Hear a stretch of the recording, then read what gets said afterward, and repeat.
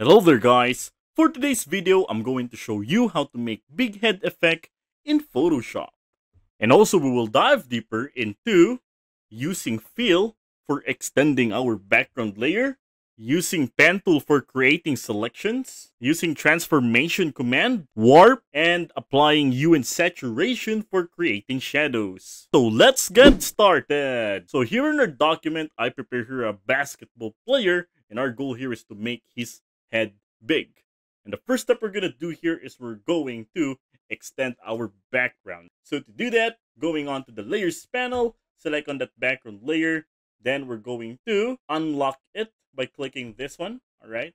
And then going on to the toolbar, find the crop tool. Okay, so from this crop tool, I'm going to click and drag this one up to create an extension. So there you are. And then hit enter. Okay, and then we're going to select this image by just pressing Control and click on the thumbnail layer of that layer. Now, once we already have that selection, let's let's invert the selection by pressing Control Shift plus I. So there you are. Now this part is already selected. Now going on to the now going on to the menu bar, go to Edit and then find Content Aware Fill. Okay, so in this part, I'm going to remove the selection here so that it won't be copied. Okay, this one. And also this one's here under. Okay, and now once it's all said and done, hit apply and hit OK. There we go. All right, so let's press Control plus D to deselect. There we go. We just extend the image.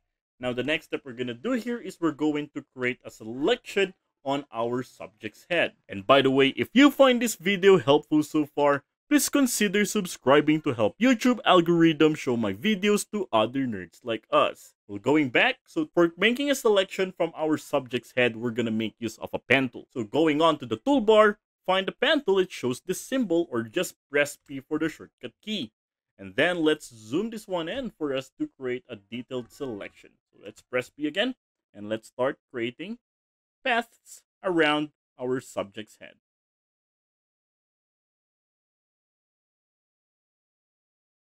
Now, once we already created the path around our subject's head, now right click on it and then choose Make Selection. From the Make Selection dialog box, feather radius, set that to 1 pixels and then hit OK. Alright, now it turned already in, into selection.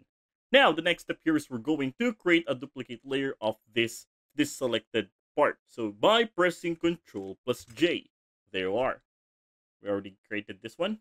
Okay, and then let's let's zoom it something like this. And then from the layer one, I'm going to press Control plus T to bring out the transformation command. And then from this transformation command, I'm going I mean I'll start increasing the size by just click and dragging these points out. Okay put on the size that you want for our subject. Something like this. And let's rotate it a bit. All right, there you go. And then with this transformation command, right click on it and then choose warp. Okay, so for us to fix the areas that we want to align and match. All right, I think that's already aligned the head from the neck. Okay, and then hit enter. Okay, now we already created a big head over here. But now next step here is we're going to add shadows under his chin. So to do that, let's bring this one as head layer.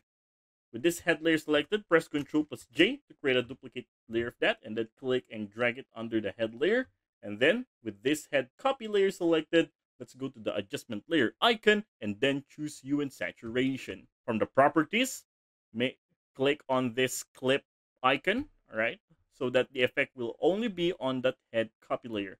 Right, and then from the lightness, I'm just going to bring this one to negative 100. Okay, so what we already have here? We already have this kind of effect here from this head. And then from this hue saturation layer, press Control and then also click on the head copy layer. Right click on it and choose Merge Layers. And let's name this layer as our shadow.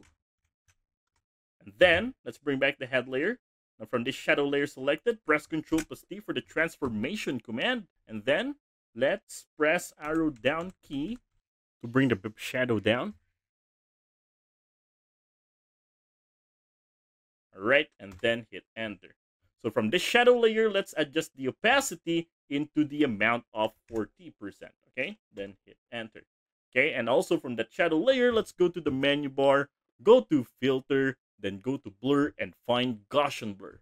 Okay, so we're going to add a blur here with the amount of 3.5. Okay, now that's looking good. 3.5 pixels is okay. Then hit OK. And then from the shadow layer, there are unwanted shadows on this area.